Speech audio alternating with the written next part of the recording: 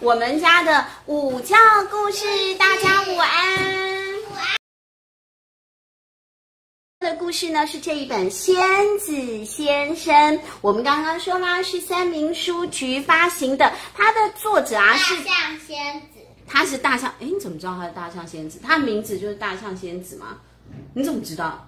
因为我今天看三明书因为我局的。看到这边一个仙子，这边一只大象，大象对对仙对子对，它这是法国人画的绘本哈，文是莫加德卡迪耶。你看这个名字，若念成法文，不知道怎么念 g a 就干不了呀。知道怎么念那你知道怎么念啊？莫加迪德我卡家德卡迪娜，不是，走开！好，图呢是佛罗西安回来了，不要真的走开，回来回来。图是佛罗西安皮杰翻译的，叫做魏迟秀老师。哎，我以前有一个同事，我们在播新闻的时候叫魏迟佩玉，他们说不定是亲戚耶，这个姓那么少。好，我们来魏池，小妹，你看魏池是古时候一个很有名的将军的姓。好啦，我们现在将军啊，打仗棒棒棒。好，小朋友，那我们来说故事吧。给最可爱的厌世仙子来了，她的脸看起来跟小比真的好像哦。那这个，这就是传说中的厌世。回来，不要跑来跑去，小妹，我要拍你喽！你再去背一次。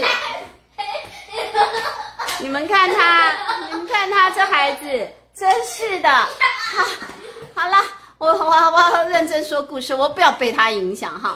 好，来，你们看这个人呢、他是仙子。我们以前对仙子的想法都是怎么样？偷牙齿，哦，偷牙齿不是啦，他不是偷啦。好，那个是什么牙仙子，是不是？好，还有呢，我们觉得仙子一定会有翅膀啊，拿着仙女棒啊，对不对？好漂亮啊！可这个仙子，对啊，仙子拿仙女棒，没错啊。仙子棒它有它有那个小翅膀，但是好小，而且它是大象哎，大象那么小的翅膀。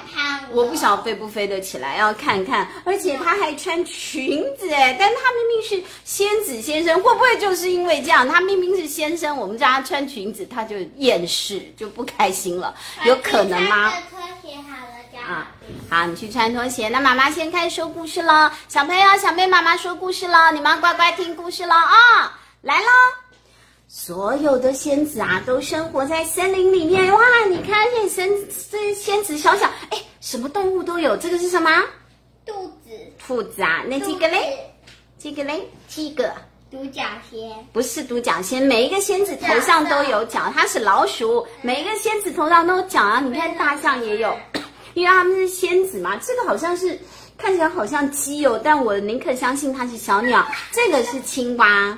你看，不管是哪一种仙子，他们穿的都是仙女服，哎，老鼠，老鼠没有脚就认出来了哈。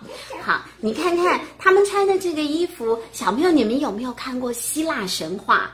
以前呢，外国的那个神明，希腊神话里面的神啊，不管是宙斯啊，嗯、那海海神波斯顿啦、什么爱神，不管男生女生，太阳神阿波罗，是不是都是穿像这样的连身的洋装，对不对？那个是他们的呃那个年代的衣服，所以呢，我们就把这些仙子啊，就幻想成那个年代的神，也是穿这样子的连身的裙子，不管是男生还是女生，所有的仙子都生活在森林里头，每一个仙子都不一样哦。有一些是晨光仙子，晨光仙子都没有来我们家，什么？晨光仙子，因为我们都是起不来，尤其是小比，随时都在睡觉。晨光仙子没有去找小比啊。晨光仙子有没有小朋友家每天早上晨光仙子都很早到来拜访你们的？应该有吧？会太晚了。我们家的小孩特别爱睡觉，我们家睡觉气氛好好哦，大家都忍不住睡到八点半。房间都很舒服，感觉像睡饭店。对我们家的床很舒服，我们家什么东西都用的很普通，但是睡觉可是睡得好的很。好，就是我们是注重睡眠品质的，那个睡得好才可以长命百岁。好，你看晨光仙子没有来我们家，可能有一些五点就起床的有睡。睡睡到死掉了。那也是快乐的死去。好，有一些是勇气仙子，就是哎呦。怎么办？我不敢在嗯同学面前自我介绍啊，那么多朋友啊什么的，哈害怕害羞哦。这个时候你需要的就是勇气仙子，还有呢睡眠仙子。哎，小比有睡眠仙子哎，是我们家的，对，或者是就是在附身在小比身上的哦。我来到睡眠仙子，哎呀，还有家事仙子呢，哎呀，希望家事仙子来我们家附身在我的小孩还有老公身上，不要附身在我身上。我跟睡眠仙子在一起，你们跟家事仙子在一起，那就完美了，perfect。好，哇，你看有各种仙子啊，子，早晨仙子我平常上学才起得来。那我们要不要再发明一些仙子啊？比如说玩游戏仙子。便便仙子，便便仙子也很需要对，不是便秘，是便秘。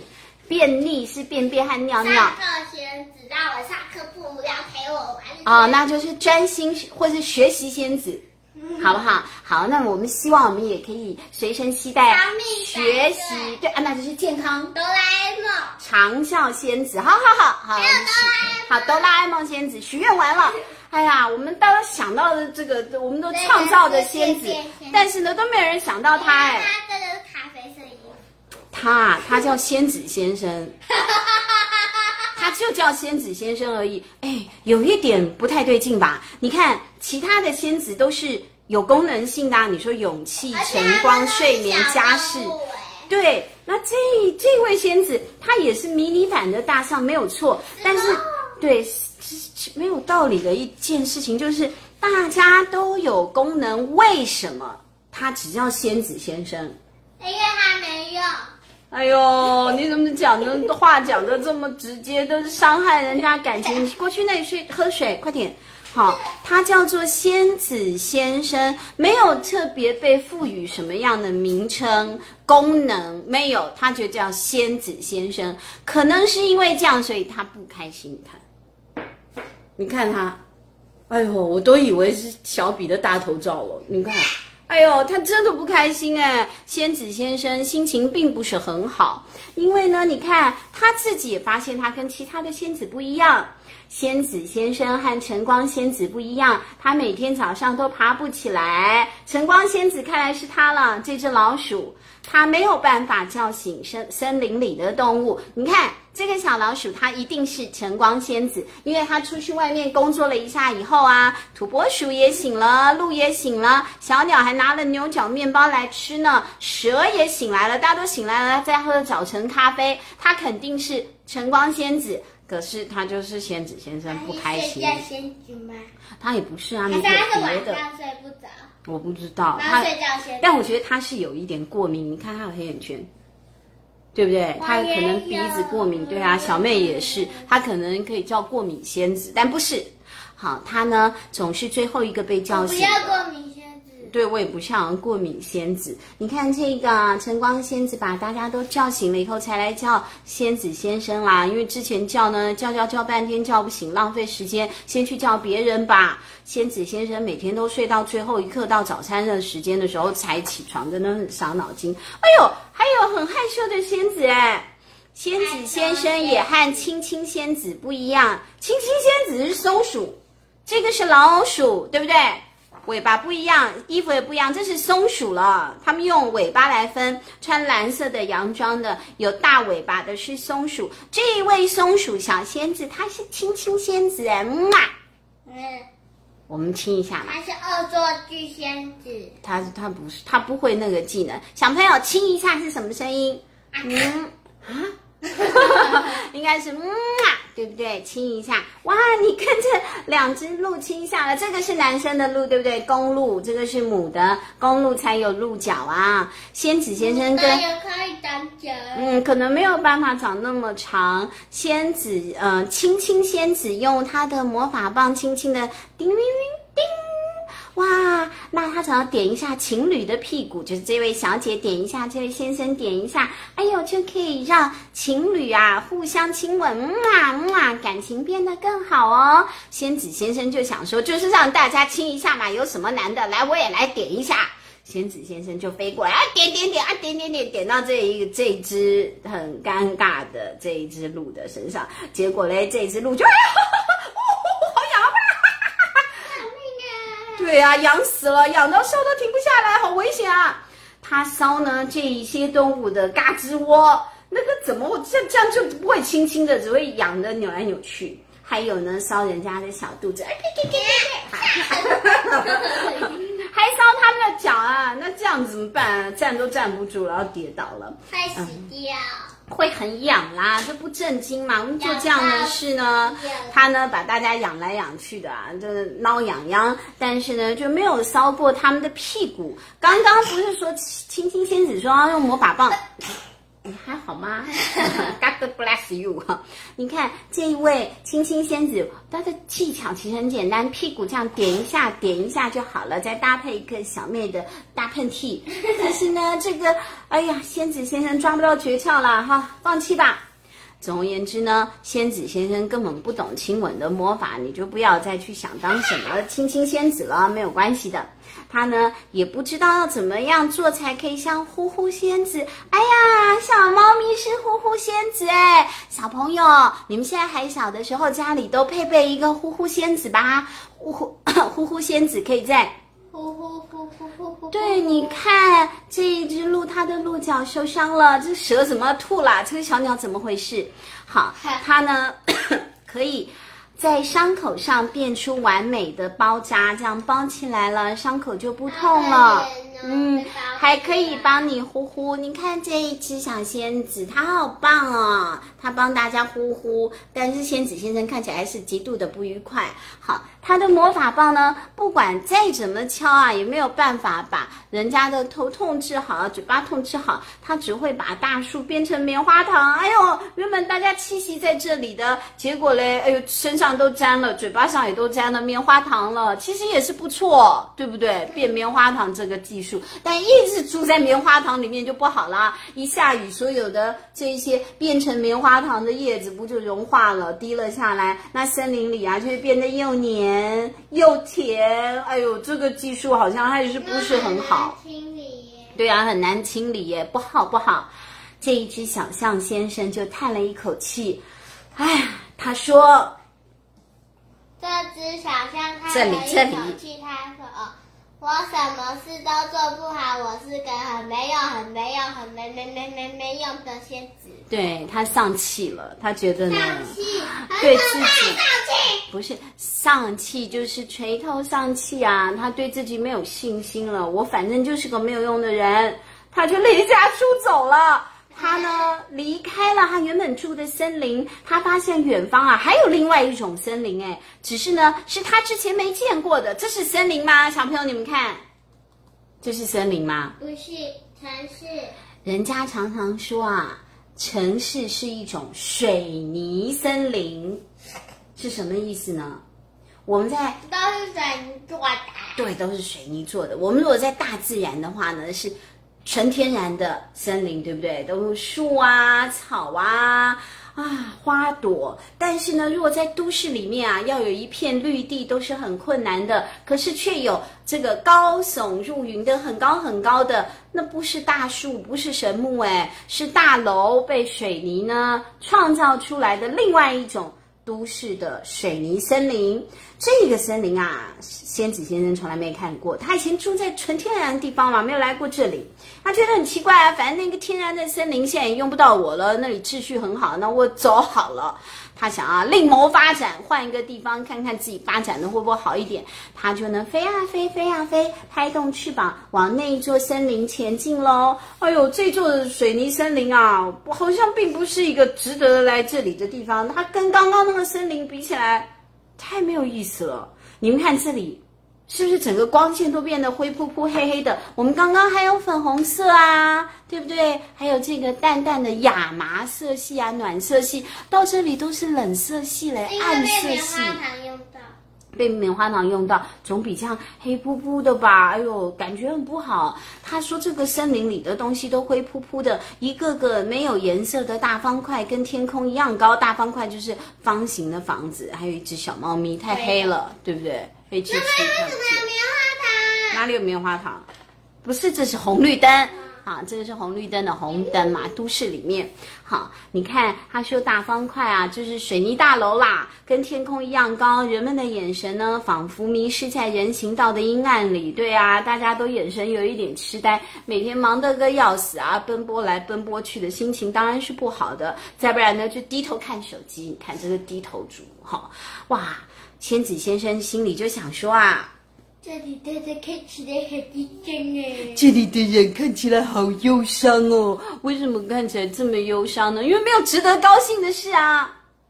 他想起了自己跟青青仙子一起工作的时候啊，哎呦，那些小动物啊，不是都扭来扭去的，哈哈大笑吗？那时候是怎么办到的呢？他回想了一下，嗯，在心里头呢，反复的思考、琢磨、练习了之后，他就想试试看好了，反正不有什么损失嘛。这些人已经不开心了。仙子先生呢，小心翼翼的挥动他的魔法棒哦。可是啊，不管做什么事情，都跟别人不一样。哎，他原本想要变的是什么呢？跟青青仙子一样，让大家变得感情很好嘛，木马木马。结果没有人木马木马，反而是你们看，刚刚那个都是黑色的建筑物，有一点不一样了，对不对？其他颜色。对呀，有其他颜色嘞，出现一块块不同的色块了。他每挥动一次手臂，就会在街上泼出一些从来没有人见过的奇怪的色彩哦。渐渐的，大家就觉得说：“哎呀，一开始觉得好奇怪、好奇异哦，现在觉得好奇妙哦，大家都开心了，人们的脸庞啊亮了起来了，觉得哎，我们的世界或许不那么灰色的吧，也是有彩色的，想象就很满意啦。我们的这个仙子先生他就继续飞啦。刚刚呢，我已经让城市有了颜色，现在我还能做些什么呢？哎呀，他飞呀飞，看到好奇怪，这什么一回事啊？”在不远的地方，他看到几位居民，哎，他们陷到地底下来，他们是陷进去了吗？掉到地底下来，地裂了缝了。哦，地铁站，小妹答对了，不是地上有一个大裂缝，也不是有一个大洞，大家通通呢，呃，一失足掉下去了，不是啦，这个是有建筑的嘛，写写了地铁站啊，看起来好漂亮。他呢？但仙子先生没看过啊，他觉得好奇怪哦，他为什么到地底下去呢？不死掉的人才埋到地底下吗？他们干嘛这样？他就决定跟在这些人的后头。仙子先生心里想：这里的人一定跟我们森林里的动物不一样，他们呢，通通都跟鼹鼠一样，要住在地洞里，是吗？不是，不是啊，我们刚刚不是还有高楼大厦吗？那只是去坐地铁啦。仙子先生少见多怪。好了，仙子先生觉得呢，他好奇了嘛，刚关心一下下去看看，难道这里的人都是地底下的动物吗？结果一看，哎，没有，这些人坐到了车厢里面，环境还挺好的。仙子先生呢，他就啊，在这个捷运站或是地铁站里面啊，滑来滑去，滑来滑去。他呢，钻过来，钻过去，拍动翅膀，在人们的肚子和鸽子窝里面穿梭。结果嘞，他又给大家挠痒痒了。哎呀，痒痒痒痒痒痒痒痒，大家就啊，给给给给给给给的笑了。怎么那么有趣？心里头呢，大家都开心了，觉得痒痒。过了没多久，整个车厢的人呐，都左摇右晃的笑起来了，大家心情都好了。你看，刚刚每一个人表情都很差，现在大家都笑眯眯了，只是他们没有戴口罩，要小心。好，除此之外呢，仙子先生想说，好，地底下的事我处理好了，我现在上来看看吧。他就又飞呀飞，飞呀飞，回到了地面。哎呦，这个时候啊，仙子先生的脑子里头乱糟糟的。他想到乘客们的笑容，却又有一点感动。他为什么乱糟糟的呢？因为他不晓得自己做的是对的还是错的。他以前呢，从来没有见过这种大场面。因为以前在那个森林里头，每一个仙子啊，都已经把事情做得好好的了，他只要在那里那翻白眼就好了。结果他来到人间之后，突然好像做了很特别的事哈。会啦会啦，等他出社会之后，看了世界之后呢，就不一样的感动了。仙子先生就觉得自己有做了些什么，他很感动。可是啊，他发现不是只有地底下哎，我现在看到这些啊，哎呦，这些在地面上的人坐在这个露天餐厅里面喝咖啡啊，哎呦，有人还喝酒啊，喝饮料的人，怎么每一个也是看起来不开心？还有人，你看他们两个面对面坐，哎哎，好。你看，面对面的坐着的时候，也没有在聊天，而是在划手机，这样子根本没有办法交流感情嘛。他觉得这些人好糟糕哦，我到底能够怎么帮助他们呢？他问自己，结果啊想到了，哎，我不是很会变棉花糖吗？他就挥动了他的魔法棒，变变，你看。变变变！他把所有的不是所有的遮阳伞都加变成了棉花糖哎！哇，好酷哦！大家啊看到都觉得哎呀好新奇哦！赶快拍照拍照，完美自拍好！你看哇，这么漂亮棉花糖的遮阳伞太酷了！看到大家啊这个开心的样子，因为大家觉得新奇嘛，小象也很满意啊。只是小象心里头啊有一个奇怪的问题，他在脑子里想，他想说呢，奇怪了，这跟我以前呐的经验都不太一样，会不会我的森林出了什么事，或是怎么了呢？我还是先回家去看看吧。他用最快的速度啊，头也不回的往森林里飞去。你看大楼都有颜色了。都是漂亮的颜色。仙子先生很担心他的朋友呢，会不会也变得跟城市里的人一样忧伤啊？如果变成这样该怎么办啊？有不祥的预感哎，会不会他以前做的一切都没有错？比如说给大家搔痒痒啊，或者是把东西变成棉花糖啊，这些呢，以前大家都觉得我不知道你的功用是什么的，但说不定那就是我的功用。有可能呢。对不对？只是以前没发现，只以前他直觉说你不要再胡闹了，但是说不定那些森林里的动物的开心就是他带来的。他突然恍然大悟了，就像很多人呐，他呢可能呢一开始啊不晓得自己的呃这个使命是什么。对这个世界的使命是什么？不晓得自己的专长会是什么？这个时候突然就恍然大悟，自己能做的事情了。仙子先生也是这样子哎，我以前做的事情会不会根本就是对的？只是我没有发现。那那那那怎么办？我赶快回去看看嘛！我离开了我的森林，不会有事吧？他赶快飞回去，飞回树林的时候，他不敢相信自己的眼睛哎。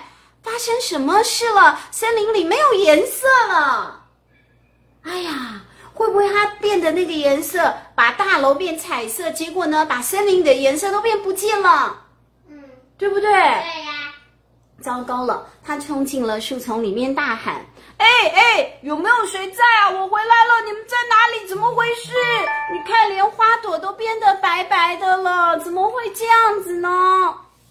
很快的，几个身影出现在树木之间，呼唤着他。是刚刚亲嘴嘴的哇哇的这个小鹿，还有各个不同的呼呼仙子啊，晨光仙子、青青仙子都在这里。大家的表情都不太好哎。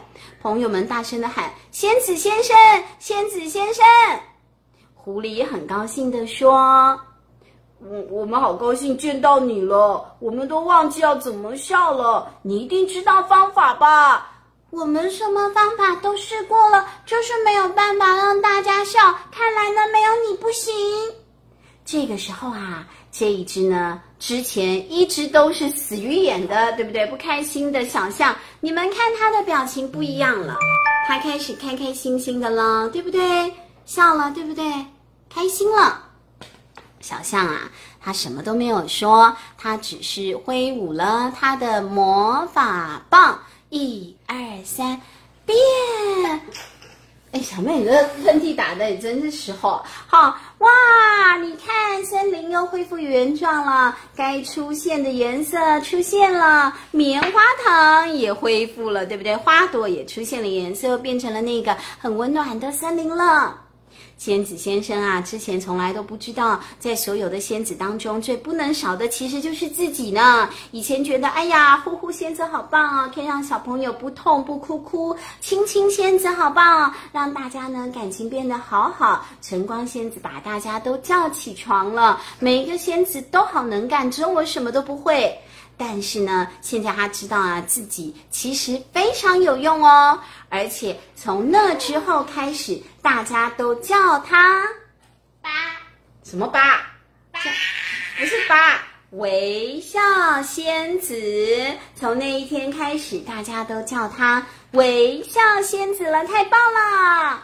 微笑是什么意思呢？微笑啊，用来形容让生命变得更愉快。哇，微笑仙子是可以让大家的生命变得更愉快的人，是就是在形容她了。就是这一位微笑仙子，她自己也获得微笑了。她之前不晓得她自己是做什么的嘛，连笑都笑不出来。现在啊，她终于又恢复了微笑了。所有跟她有关的，不管是森林还是都市啊，大家也都充满了笑容了。拜拜。